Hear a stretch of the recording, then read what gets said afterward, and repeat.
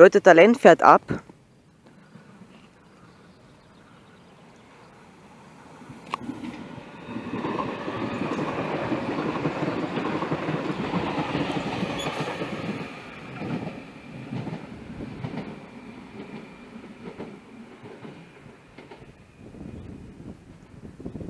Ja, und bis später.